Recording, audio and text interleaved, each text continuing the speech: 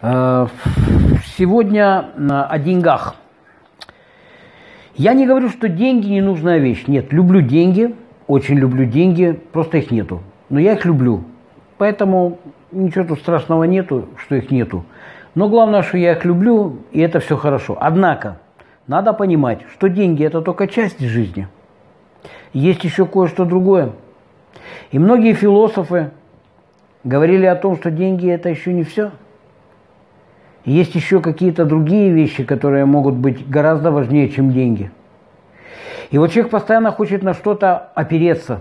Он думает, что он создаст себе какие-то вот такие вот опоры, да.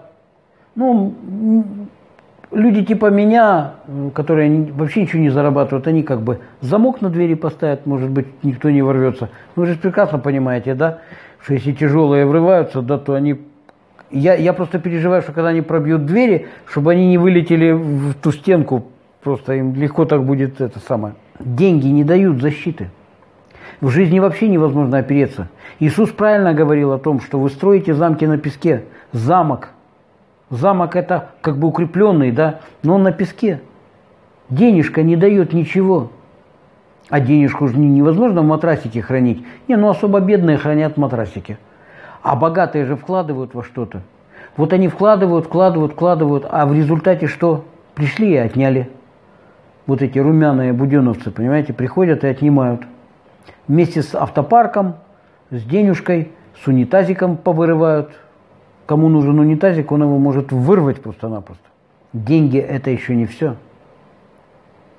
И думать только о деньгах при вот этой вот мизерной жизни в 70 лет. Сколько у меня красавцев поумирало, а денег было немерено. И шупонту. Поэтому я так думаю.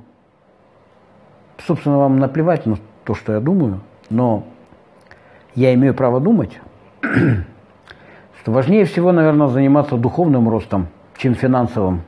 А финансовый рост, он такой, знаете, очень-очень-очень зыбкий. Сегодня вы живы, а завтра вы мертвы, так как люди имеют тенденцию умирать и подчас внезапно. На сегодня все.